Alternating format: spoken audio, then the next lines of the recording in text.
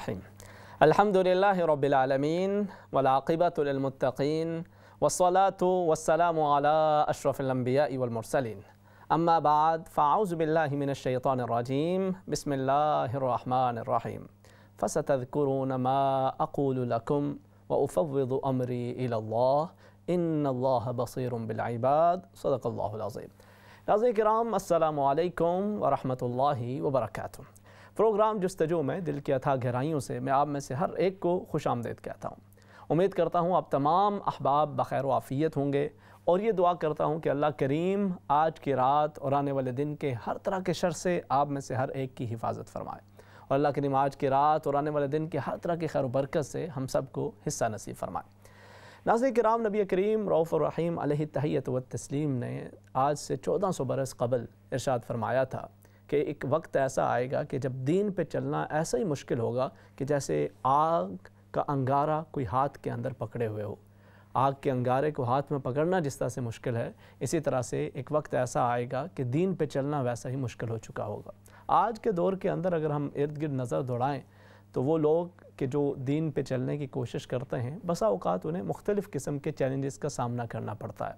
अमूमी तौर पर दो बुनियादी मसाइल का सामना या दो बुनियादी चैलेंजेस का सामना उन्हें करना पड़ता है, दीगर मुख्तलिफ़ चैलेंजेस के अलावा। उसमें से पहली चीज़ तो यह है कि बसा अवकात जब आप दीन के रास्ते पर चलने की कोशिश करते हैं तो अगर आपके इर्द गिर्द के माहौल के अंदर जो लोग मौजूद हैं, वो दीन पे नहीं चल रहे तो आपको उस दीन के रास्ते पे चलते रहना बसा अवकात मुश्किल हो जाता है। आपके लिए उसके अंदर मुख्तलिफ़ तरह के चैलेंजेस आ जाते हैं। मुख्तलिफ़ तरह से आपको अजियत पहुँचाई जाती है गोया। मैं मिसाल देता हूँ, जैसे बहुत सारे स्टूडेंट्स होते हैं तो अब जब वो हॉस्टल लाइफ गुजार रहे हैं या फिर वो यूनी के अंदर हैं, अब वहाँ पे आप, आपकी अपनी ज़िंदगी है, आप नौजवान हैं, मुख्तलिफ़ आपके पास ऑप्शन अवेलेबल हैं। बाकी तमाम बच्चे बच्चियाँ हल्ला गुल्ला कर रहे हैं, शरी गैर शरी अखलाक़ी गैर अखलाक़ी अकदार को मलहूज़ ख़ातिर रखे बग़ैर जो मन में आ रहा है, जो जी में आ रहा है, किए जा रहे हैं। और किसी भी किस्म की कोई परवाह नहीं कि शरीयत क्या कहती है, दीन क्या कहता है, अखलाकियात क्या कहती है, नहीं। बस अभी ये टाइम है इन्जॉय का टाइम है YOLO you only live once. और वही मोटो बना के और वो खूब इंजॉय कर रहे हैं। तो ऐसे में अब जो नौजवान बच्चा या बच्ची वहाँ पे दीन के रास्ते पे चलने की कोशिश करते हैं तो उन्हें मुख्तलिफ़ तरह से पुकारा जाता है। कोई उन्हें बैकवर्ड कहता है, कोई उन्हें डरपोक कह के बुलाता है, कोई मुख्तलिफ़ नामों से उन्हें पुकारा जाता है और ज़ाहिर है इस माहौल के अंदर अपने दीन के रास्ते पे चलते रहना उनके लिए बहुत बड़ा चैलेंज होता है। या फिर बसा अवकात किसी फैमिली के अंदर कोई नौजवान लड़का या लड़की अचानक उनकी जहनी कैफियत तब्दील होना शुरू हो जाए, वो दीन के रास्ते पे चलने के लिए आमादा हो जाएँ। वैसे फैमिली का वो स्टाइल नहीं है, वो उनका एक अपना तर्ज ज़िंदगी है, ठीक है, वो मुसलमान हैं, नाम मुसलमानों के मगर जो लाइफ स्टाइल है वो कम्प्लीटली डिफरेंट है। तो अब उस फैमिली के अंदर कोई लड़का दाढ़ी रख ले, नौजवान लड़का, या फिर कोई लड़की निकाब हिजाब करने की कोशिश शुरू कर दे तो उसे अजीब अजीब नज़रों से देखा जाता है। अपने बहन भाइयों में से कहीं बसा अवकात वालदेन में से बसा अवकात चाचा, ताया, मामा, नाना, मुख्तलिफ़ जो फैमिली के रिश्ते हैं उनकी तरफ़ से देखने, सुनने को आता है कि भाई ये इसे क्या हो गया ये पता नहीं किसी ऐसे ग्रुप के हाथ तो नहीं चढ़ के जो इसे कोई शिद्दत पसंदी की तरफ़ लेके जा रहे हैं। और ये, अभी ये कोई उम्र दाढ़ी रखने की, ये कोई उम्र है निकाब हिजाब के रिश्ते नहीं आएँगे, ये किस रास्ते पे चल पड़ी हो? तो मुख्तलिफ़ तरह से आप उसको बार बार ऐसी बातें करके, अजियत ही एक तरह से पहुँचाई जा रही होती है। तो इस सिचुएशन के अंदर भी उसके लिए, दीन के उस रास्ते पे चलना बस अवकात मुश्किल हो जाता है। इसी तरह से एक और मिसाल दे के फिर मैं एक दूसरा जो चैलेंज है, उसकी तरफ़ भी कुछ इशारा देता चलूँगा। बसा अवकात शादी ब्याह की हमारे यहाँ रस्में होती हैं। दीगर भी कई अहम इवेंट्स ऐसे आते हैं कि जिनके ऊपर हमारे यहाँ कुछ रस्में हैं, जो हमारे कल्चर का हिस्सा हैं। अब कोई अगर उस वक़्त ये कदम उठाए कि मैंने इन रस्मों से और ख़ास तौर पे अगर ऐसी रसूम मौजूद हैं कि जिनके अंदर शरीयत की पामाली हो रही है और अल्लाह और उसके रसूल सल्लल्लाहु अलैहि वसल्लम के हुक्म की नाफरमानी का अंदेशा उसके अंदर मौजूद है तो मैंने उन रस्मों से बचना है चाहे वो शादी की खुशी का मौका हो या कोई और भी ऐसा इवेंट है कि जिसके ऊपर सेलिब्रेशन करते हुए लोग बहुत सारी हदूद को पामाल कर रहे होते हैं। तो वो कहते हैं कि जी, मैंने तो ऐसा नहीं करना तो अब वो इर्द गिर्द वाले उसके अपने ही अज़ीज़ वकारब कहना शुरू कर देंगे, भाई, शादी है, तुम इसको क्यों कोई जनाजे की सा माहौल बनाना चाह रहे हो?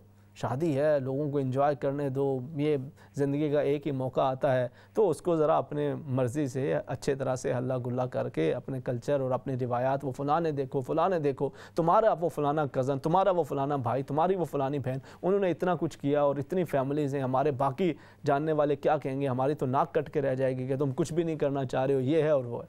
अब इस सिचुएशन के अंदर भी आपको दीन के उस रास्ते पे कायम रहना, वो बसा अवकात चैलेंजिंग हो जाता है। इसी तरह से आप कोई शादी ब्याह के मामला की तरफ़ आगे बढ़ना चाहते हैं उसके अंदर बसा अवकात ऐसे चैलेंजेस आ जाते हैं कि जी, अभी तो बड़े बेटे की शादी नहीं हुई या बड़ी बहन की शादी नहीं हुई तो छोटे की या छोटी की शादी कैसे कर दें? उसमें लोग क्या कहेंगे? और मुख्तलिफ़ बातें की जाएँगी कि जी, ये बड़ी क्या क्यों नहीं हो रहा? क्या मसला क्या है? बात क्या हो रही है? लेकिन आप देखें, उसका शरीयत के साथ उसका कोई लेना देना नहीं, एक रिश्ता आ गया, उसका नसीब है। आप उसकी शादी कर देते हैं, दूसरे के भी जब मौका आएगा, जब उसके नसीब के हवाले से उसको कोई अच्छा रिश्ता मिल जाएगा इन उसकी भी शादी हो जाएगी। लेकिन नहीं, हमारे यहाँ फिर इन रिवायात को मलहूज रखने पे ज़ोर दिया जाता है। और अगर कोई फैमिली के अंदर, वो नौजवान बच्चा या नौजवान बच्ची ये बात करें भी कि मेरे पास तो ऑप्शन अवेलेबल है, मुझे शादी करने का जो मौका है, वक्त भी है तो आप इसके अंदर मेरी सपोर्ट करें तो या तो वो बात करते हुए भी फिर हिचकिचाहट महसूस करते हैं या फिर उनको ये कहा जाता है कि तुम्हें अपनी बहन से या अपने भाई से कोई प्यार ही नहीं है, तुम उनके रास्ते मज़ीद बंद करना चाहते हो। और इस तरह से वो अंदर ही अंदर, अब वो कुड़ता रहता है, अब वो इस शरीयत के रास्ते पे चल के अपनी ज़िंदगी का मामला आगे बढ़ाना चाहते हैं, उसके ऊपर रुकावट आती है तो फिर वो बसा अवकात उसके पास फिर कोई दूसरे ऑप्शंस खुल जाते हैं और अब ऐसी सिचुएशन के अंदर भी दीन के रास्ते पे चलना बड़ा मुश्किल सा हो रहा होता है। इसी तरह की और बहुत सारी दीगर मिसालें मौजूद हैं लेकिन वो तमाम डिटेल में जाए बगैर जो दूसरे किस्म का चैलेंज दीन के ऊपर चलने वाले लोगों के लिए होता है जो उसके लिए कोशिश कर रहे होते हैं अपने तय कोई भी हम में से मुकम्मल तौर पे तो नहीं उसको अपना पाता। लेकिन जो कोशिश कर रहे होते हैं, दूसरा उनके लिए एक चैलेंज ये होता है कि वो अपने फैमिली मेंबर्स को भी दीन के रास्ते की तरफ़ बुलाना चाह रहे होते हैं।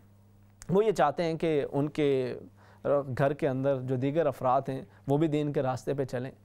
अब खामंद है, वो नमाजी है, परहेजगार है अल्लाह रसूल का नाम लेता है, दिन इनकी तालीमत पर अमर पहला होने की कोशिश करता है तो वो बीवी को भी नसीहत करे कि देखें, आप भी ये ये चीज़ें, इनका ज़रा ख्याल कर लिया करें, इस्लामी अहकाम हैं, इसकी तरफ़ तवज्जो कर लें। तो वो आगे से उसको कहेगी कि पहले अपनी बहनों को तो पर्दे सिखाओ, उनको तो दीन की बातें सिखा लो, बाद में मुझे सिखाना। उन्हें तो कलमा भी नहीं सही पढ़ने आता और आप मुझे फ़र्ज़ और पता नहीं क्या क्या बताने चले। पहले उनको सिखाएँ, दीन फिर मुझे आगे सिखाइएगा या फिर कोई बीवी है, वो नेकोकार है, माशाल्लाह इबादत गुजार है, नमाज़ की पाबंद है रोज़ा है, हज, ज़क़़त है, दीगर जो अहकाम शरा हैं, उस पर अमल पैरा होने की कोशिश करती है। वो खामत की तरगीब तरगीब उसे दिलाती है। उसे तलकिन करती है कि नेकी के काम की तरफ़ आ जाएँ, ये फ़लाँ फ़लाँ हराम के रास्ते इनसे बचें, हराम की कमाई से बचें, हराम कामों से बचें, दीन के रास्ते पर चलें तो वो आगे से कहेंगे मुझे बाद में दीन सिखाना, तुम अपनी फ़िक्र करो, तुम्हें अपने भाइयों का नहीं पता वो क्या क्या उनके बिजनेसेस हैं क्या क्या काम वो करते हैं, उनके करतूतों की तरफ़ तो तुम्हारा ध्यान नहीं जाता और चलिए मुझे दीन सिखाने के लिए, पहले उन्हें जाके दीन सिखाओ। तो इस तरह से आगे, अब वो बंदा जो खुद एक कोशिश कर रहा है कि वो दीन के रास्ते पे चले और दूसरों को भी उस रास्ते पे जो इर्द गिर्द मौजूद हैं, वो उनको उस रास्ते पे चलाने की तरगीब दिलाता है, लेकिन उसे आगे से इस तरह की बातें सुनने को मिलती हैं। या फिर घर के अंदर फैमिली के अंदर जो बुज़ुर्ग होते हैं, उनकी कोशिश ये होती है कि उनके बच्चे या बच्चों के बच्चे भी दीन के रास्ते पर चलें। वो दीन की तालीमत के ऊपर अमल पैरा रहें और जो गैर शरी अहकाम हैं, या गैर शरी चीज़ें हैं, उनसे वो बचते रहें। तो अब वो बुज़ुर्ग वो कोशिश करते हैं कि वो बच्चों को या बच्चों के बच्चों को तरगीब दिलाते रहें, लेकिन अब उस, उन जो, यानी उनके आप कह लें पोते पोतियाँ हैं नवासे नवासे हैं, अब उनके वालदेन बसाओकात वो बीच में रुकावट बढ़ जाते हैं। अरे आप क्या ज़माना गुजर गया? जी, आप अब कैसी बातें करते हैं? इन बच्चों का ज़माना इन्हें जी लेने दें। आपने अपनी गुजार ली, आप इनके पीछे पड़े रहते हैं। हर वक्त इनको नमाज़ की बात, फलानी की बात, ये करो, वो करो, दीन की बातें से, वो कर लेंगे जब उनका वक्त आए। आप अपनी फ़िक्र किया करें। वो इस तरह से उनको कह के तो उनका मुँह बंद करा देते हैं, उल्टा उनको अजियत का बायस बनते हैं। अब वो जो कह रहा है, वो बुज़ुर्ग बंदा कह रहा है, या बुज़ुर्ग बंदी जो कह रही हैं, वो उन्हीं के भले के लिए कह रहे होते हैं, लेकिन आगे से इस तरह की बातें सुनने को मिलती हैं। अच्छा ये दोनों सिचुएशन के अंदर, अब वो बंदा जो दीन पर चलने की कोशिश कर रहा है, ये बसा अवकात मायूसी का शिकार हो जाता है। अब फिर उसका दो रास्ते होते हैं।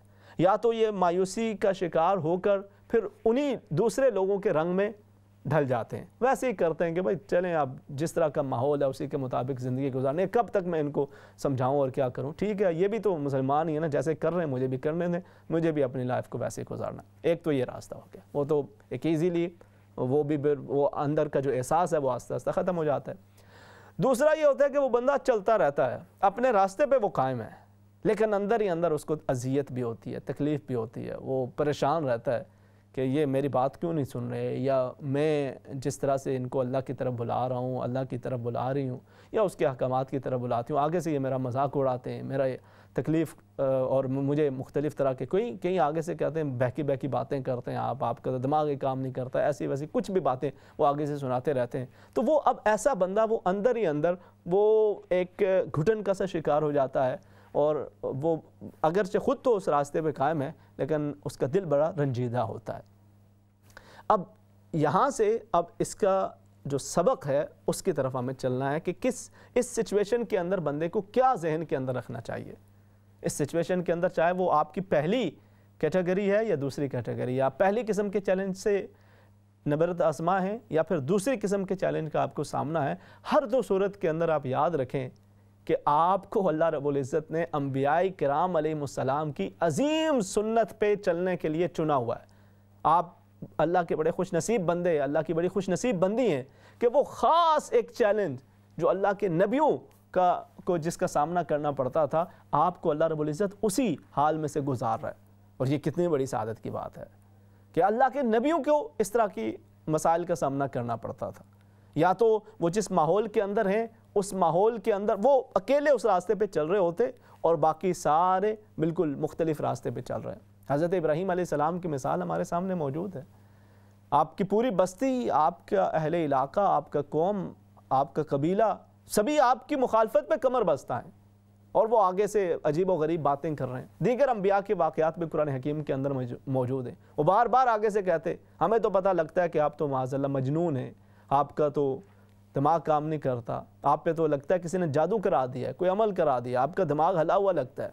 वो इस तरह की आगे से बातें करते और अब वो जो सीधे रास्ते पे चलाने की बात कर रहे हैं, जो अल्लाह की तरफ़ बुला रहे हैं, उनको आगे से ऐसी बातें सुनने को मिलती और ये अम्बिया कराम सलाम को ये बातें सुनने को मिलती तो अगर आप भी इस सिचुएशन के अंदर हैं, आप तो अपने इर्द गिर्द लोगों को दीन की तरफ़ बुला रहे हैं। वो आगे से आपके लिए अजियत का बायस बन रहे हैं तो आप ये जहन में रखें कि ये ही चैलेंजेस अल्लाह के नबियों को झेलना पड़े, लेकिन उसके बावजूद उनका तर्ज अमल क्या रहा? वो हमें जहन के अंदर रखना है। होता क्या कि बसा अवकात फिर इंसान झंझलाट का शिकार होकर वो ख़ुद भी गसीला और उसके अंदर वो रिएक्शन इस तरह का आ जाता है कि जो फ़ायदे के बजाय उल्टा नुकसान का ज़रिया बनता है, कि वो बार बार ऐसा रिएक्शन कर देते हैं, ऐसी बात करते हैं, फिर कि उनकी बात को वो आगे से कोई बात करें, आपने उनको दीन की बात बताई, उन्होंने आगे से आपको कड़ा सा जवाब दे दिया, आप आगे से चार और सुनाते हैं तो बजाय फ़ायदे के उल्टा नुकसान हो जाता है। आपको पता है, आप सही रास्ते पर चल रहे हैं, आप उनको अल्लाह की तरफ़ बुला रहे हैं, जो नेकी की बातें हैं, वो आप उनको पहुँचा रहे हैं, वो नहीं चलना चाह रहे, और आगे से आपके लिए तकलीफ़ और अजियत का बायस बनते हैं। आप पहली चीज़ ये जहन में रखें कि अल्लाह रबुल्ज़त के नबियों की सुन्नत पे आपको चलना नसीब हो रहा है।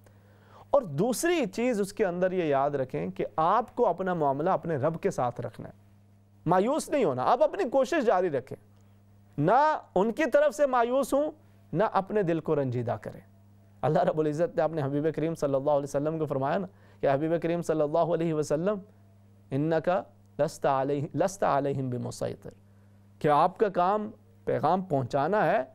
आप का ज़िम्मेदारी और आपके ऊपर ये बोझ नहीं है कि आप उनको उस तरफ़ चलाएँ जो अल्लाह रब्बुल इज़्ज़त का हुक्म है। आपने पैगाम पहुँचा दिया। अब उसके बाद आप अपने दिल को रंजीदा ना करें। नबी करीम सल्लल्लाहु अलैहि वसल्लम बहुत परेशान होते। और क्योंकि आपको ये फ़िक्र होती कि इनकी आखिरत की फ़िक्र होती कि जो अल्लाह के रास्ते से हट के ज़िंदगी गुजारे। तो अल्लाह रब्बुल इज़्ज़त आप उनके लिए अपने दिल को रंजीदा ना करें। आपने अपनी ज़िम्मेदारी कर दी। अब हिदायत देना ना देना ये रब ताला के हाथ के अंदर है। और फिर उसके अंदर जो अगली चीज़ है कि आप अपने रब की ज़ात पे पूरा भरोसा रखें। ऐसी सिचुएशन के अंदर आपका ताल्लुक अपने रब की ज़ात से ज़्यादा से ज़्यादा मज़बूत तर होना चाहिए। हज़रत नू सलाम की मिसाल हमारे सामने मौजूद है। अब अपने बेटे को सिखाते रहे, बचाते रहे बार बार तलकिन करते रहे। होता है बसा अब नौजवान औलाद को दीन की तरफ़ बुलाते हैं। बच्चों को कहते हैं कि ये फ़लानी दोस्तियों से बचो, फ़लानी मजलिस से बचो, फ़लाने रास्ते से बचो। इस तरह की कंपनी से बचो। वो आगे से आपको कहते हैं कि आपका तो ज़माना गुजर चुका है, अब आप ये पुरानी बातें, इन हाजा असातीरवलिन यही वो आगे से कहा करते थे। आपको आज के नौजवान बिल्कुल वही बातें कहते हुए सुनाई देंगे कि जो उस वक़्त नबियों को उनकी कौम के लोग कहा करते थे। इन हादा असातीरवलिन ये पुराने किस्से, कहानियाँ, कहाँ की बातें आप उठा के ला रहे हैं? छोड़ दें, आपका ज़माना गुजर गया। Let us live how we want to live हमें अपने तरीके के मुताबिक ज़िंदगी गुजारने दे। कौलू या शाइब असलात का तमरना अन्नाबुद मायाबुद आबाउना। कि ए शुएब अलैहिस्सलाम अन्नत्र का मायाबुद आबाउना। ए शुएब अलैहिस्सलाम, आप नमाज़ की बात करें, ठीक आप अपना ज़िक्र, अपनी इबादत करें, मगर आपकी नमाज़ ये सिखाती है कि हम अपने आबाव अजदाद के रास्ते को छोड़ दें तो ये नहीं होगा। हम अपनी ज़िंदगी को वैसे गुजारेंगे जैसे हमारे आबाव अजदाद करते आए। आप अपने मामलात को वो अपनी ज़ात तक रखें, वो आपका काम है, लेकिन हमारे मामला के अंदर हमारा जो लाइफ स्टाइल है, वो वैसा चलता रहेगा जैसे हम, हमारे आबा अजदाद का था। और फिर कोई आगे से ये कहता कि इन हाजा असातरवलिन ये तो पहलों के किस्से कहानियाँ हैं तो ये बातें गुजर चुकी ये नया दौर है, नया ज़माना है, इसके अपने तकाजे हैं, उनकी आपको समझ नहीं है। तो इस तरह की बातें आपको सुनने को मिलती हैं, लेकिन अल्लाह के नबी, वो अल्लाह के हुजूर, फिर भी अपनी कौम के लिए हिदायत की दुआएँ मांगते रहे। हम कितनी बार वो वाक़ सुन चुके कि नबी करीम सल्लल्लाहु अलैहि वसल्लम जब ताइफ़ के मैदान में तशरीफ़ ले जाते हैं और वहाँ पे उन लोगों को अल्लाह रबुल्ज़त की तरफ़ बुलाते हैं, पहले अहले मक्का को अब बुलाते रहे। वो अहले मक्का के जो आपको सादिक व अमीन के तौर पे जानते वो अहले मक्का के जो आपसे बेपना मोहब्बत किया करते थे, वो अहले मक्का के जो आपके पास अपनी अमानतें रखाया करते थे। जब आपने उनको अल्लाह की ज़ात की तरफ़ बुलाया और इरशाद फरमाया, कूल ला हो कहो कि अल्लाह के सिवा कोई इबादत के लायक नहीं है, तुम कामयाब हो जाओगे तो वो आपके खून के प्यासे हो गए। वो आपकी ज़िंदगी ख़त्म करने पे तैयार हो गए और आपको मुख्तलिफ़ तरह से अजियतें पहुँचाने लगे। और आका करीम सल्लल्लाहु अलैहि वसल्लम जब ताइफ तशरीफ़ ले जाते हैं, उनको भी वही पैगाम सुना रहे हैं, रब की वहदानियत का पैगाम सुना रहे हैं।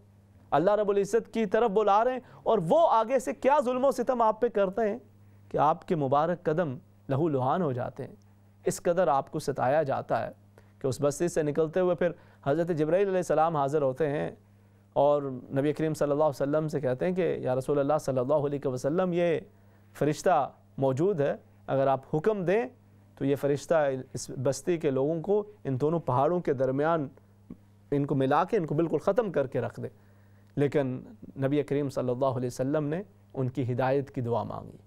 कहा कि इलामीन इन्हें ख़बर नहीं है इन्हें ख़बर नहीं है तो इन, कि ये क्या कर रहे हैं, इनको उस चीज़ का एहसास नहीं है। इनको वो अल्लाह की हिदायत, वो अल्लाह का फरमान, वो अल्लाह का हुक्म नज़र नहीं आ रहा। मुझे ये उम्मीद है कि अल्लाह रबुल्ज़त इन्हीं की नस्ल से उन लोगों को लाएगा कि जो अल्लाह के दीन को आगे पहुँचाने वाले होंगे। तो आका करीम सल्लल्लाहु अलैहि वसल्लम ने उस माहौल के अंदर भी, उस हालत के अंदर भी मायूसी नहीं की। और वो हर तरह के जुल्म, सितम के बावजूद आप उन लोगों को अल्लाह रबुल्ज़त की ज़ात की तरफ़ बुलाते रहे। अच्छा एक और बड़ा अहम वाक़ कुरान हकीम के अंदर इसी हवाले से मिलता है और वो बहुत ही उसके अंदर जो अल्फाज हैं, वो ख़ास तौर पर ऐसे लोगों को कि जो इस तरह की सिचुएशन के अंदर होते हैं, उनके लिए बड़े हौसला अफजा है फ़िरौन का ज़माना है, हज़रत मूसा सलाम की विलादत से कबल के जो हालात हैं, कुरान हकीम ने बड़ी तफसील के साथ उन्हें बयान फरमाया है कि किस तरह से फ़िरौन बच्चों को कत्ल कर दिया करता था, लड़कियों को छोड़ दिया करता था, उन्हें अपनी खादमाएँ बना लेता और इस तरह से उसका जुल्म सितम जारी व सारी था। अल्लाह रबुल्ज़त ने इरादा फरमाया, उसी फ़िरौन के घर के अंदर हज़रत मूसा सलाम को पहुँचा दिया। अल्लाह रबुल्ज़त ने आपकी हिफाजत भी फरमाई, आपकी विलादत हुई, आपकी हिफाजत हुई और आप फ़िरौन के घर के अंदर भी जा पहुँचे।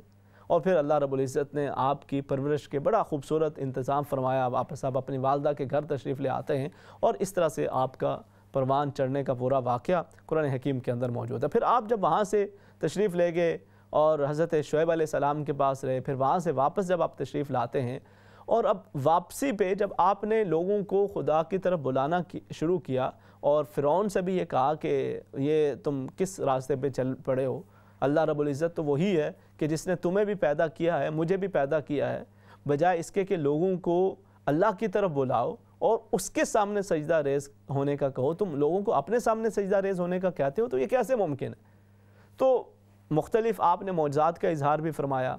वो असा से अजदहा बना, वो जादूगर मैदान के अंदर आए, वो सारे के सारे शिकस्त फाश खा गए। अब ये तमाम मनाजर देख कर भी जब हिदायत के लिए फ़िरौन और उसके लोग लाओ लश्कर तैयार ना हुआ तो अब उन्होंने क्या इरादा किया कि हज़रत मूसा सलाम को अजियत पहुँचाई जाए, हज़रत मूसा सलाम को सज़ा दी जाए। और अल्लाह रबुल्ज़त वो अला कुल शैन कदीर है।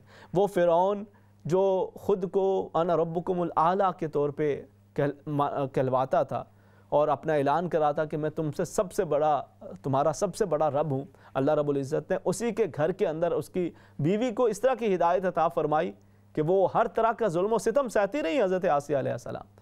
हर तरह का जुल्म सितम सहा, हर तरह की तकालीफ बर्दाश्त की। वो तमाम नाजो नियम व तमाम आसाइशें तर्क करना पड़ी, जो एक वक्त के बादशाह की बीवी होने के नाते आपको हासिल थी। सहरा के अंदर आप पे जुल्म सितम किया जा रहा है, मगर आप अल्लाह रबुल्ज़त की ज़ात पे, अपने ईमान के दावे पे इस्तकामत का मुजाहरा करते हैं। उसी हालत के अंदर आप अल्लाह के हजूर पहुँच जाती हैं। तो ये जब जुल्म सितम की ये दास्तान शुरू हुई, और हज़रत आसिया पे भी, और वो लोग भी जो हज़रत मूसा सलाम पे ईमान लाते, और आपके रास्ते पे चलने की कोशिश करते, उनको सताया जाता, और फिर हज़रत मूसा सलाम के पीछे भी जब फ़ौजें लगा दी गई तो ख़ुद फ़िरौन के दरबारियों में से एक ऐसे शख्स, कौल रजुलमिन आल फ़िरौन, कि उनमें से एक ऐसे शख्स के जिनकी एक, वहाँ पे एक सेंग थी और उनकी अपनी एक रिस्पेक्ट थी, उन्होंने कहा कि अतक तुलून रजुल नहीं यकूल रब्बी अल्लाह। वो ईमान ला चुके थे अंदर ही अंदर। तो उन्होंने फ़िरौन से कहा और उसके सिपाहियों से कहा कि तुम एक ऐसे शख्स को कत्ल करना चाहते हो कि जो तुम्हें सिर्फ़ ये कह रहा है कि मेरा रब अल्लाह है और तुम्हें भी अल्लाह की तरफ़ बुला रहा है, उसने कोई चोरी नहीं की, कोई डाका नहीं डाला, कोई तुम्हारे ऊपर कोई जुल्म सितम नहीं किया। तुम्हें वो सिर्फ़ खुदा की तरफ़ बुलाना चाह रहा है और तुम इसी पर उसको कत्ल करने पर आमादा हो। तो वो उन्हें अल्लाह की तरफ़ बुलाने की उन्होंने भी साथ नसीहत की, लेकिन ज़ाहिर है वहाँ उनमें से किसी के कानों पे जूँ तक नहीं देंगी, बल्कि अब इनकी अपनी ज़िंदगी ख़तरे में पड़ी तो इन्होंने कहा कि फ़सतज़कुरून मा अकूलकुम व उफ़विद अमरी इन बसर बिलबाद मैंने तो तुम्हें यह नसीहत की थी कि मूसा सलाम को ना सताओ कि वो रब की तरफ़ बुला रहे हैं। अब तुम मेरी जान के दर पे हो गए हो, अब तुम मुझे कत्ल करना चाहते हो, तुम याद करोगे इन बातों को। आज जो मैं तुम्हें कह रहा हूँ, ये तुम्हें सब बातें ये याद आएँगी। लेकिन तब बहुत देर हो चुकी होगी। फसा तजकुरून मा अकूल तुम याद करोगे आज जो मैं तुम्हें कह रहा हूँ। वह उफ़द अमरी मैं अपना मामला अपने रब के हवाले कर रहा हूँ। इन अल्लाह बसर बिलबाद बेशक अल्लाह रबुल्ज़त अपने बंदों को देख रहा है। वो उनके ज़ाहिर बातन से वाकिफ़ है। तो उसका रिज़ल्ट क्या निकला? फ़वक़ाह सै मा मकर। अब अगरचे इनके ऊपर जुल्म ज़्यादती का वो इरादा किए हुए थे अल्लाह रब्बुल इज़्ज़त के इस बंदे ने उन्हें ये जवाब दिया कि तुम याद करोगे इन बातों को कि जब अल्लाह रब्बुल इज़्ज़त का अजाब तुम्हें आ लेगा फिर तुम्हें इस बात का एहसास होगा कि तुम्हें बुलाया गया था खुदा की तरफ़। लेकिन तब देर हो चुकी होगी। तो अल्लाह रब्बुल इज़्ज़त फरमाता कि अल्लाह रब्बुल इज़्ज़त ने इसे इन शख्सियत को, इन साहिब ईमान को, उनके, उन बुरे आमाल के और उस अजाब से, आखरत के अजाब से भी अल्लाह रब्बुल इज़्ज़त ने इनकी हिफाजत फरमाई। और वो जो आल फ़िरौन है, वो उस दर्दनाक अजाब का शिकार हुआ अब वो फ़िरौन बिल्कुल जब उसकी ज़िंदगी के आखिरी लम्हात थे, उस वक़्त उसे एहसास हुआ और उसने कहा कि आमन तो बेरब मूसा व हारून। मैं मूसा और हारून सलाम के रब पे ईमान ले आता हूँ, लेकिन उस वक़्त अल्लाह रबुल्ज़त की तरफ़ से इरशाद हुआ, आल, आना। अब तुम्हें ख्याल आया है कि जब उससे पहले तुमने जुल्म सितम को आम कर रखा था तो आप अपनी नसीहत जारी रखें और अगर आपकी बात पे कोई नहीं भी अमल कर रहा तो आपको शकिस्ता दिल होने की, रंजीदा दिल होने की ज़रूरत नहीं है, मायूस होने की ज़रूरत नहीं है। आप अपने इन रिश्तों में से किसी को सीधे रास्ते पे चलाने की तरगीब दिलाते हैं तो उनके साथ उलझने की ज़रूरत नहीं है। आप अपना पैगाम उनको दे दें और उसके बाद फिर यही कहें कि फ़सतज़ करून मा अकूल तुम याद करोगे इस बात को जो मैं आज तुम्हें कह रही हूँ। व अमरी अल्लाह मैं अपना मामला अपने रब के सपुर्द करता हूँ, मैं अपने मामलात अपने रब के सपुर्द करती हूँ कि इन अल्लाह बसर बिलबाद बेशक अल्लाह रब्बुल इज़्ज़त अपने बंदों को जानता भी है, देखता भी है।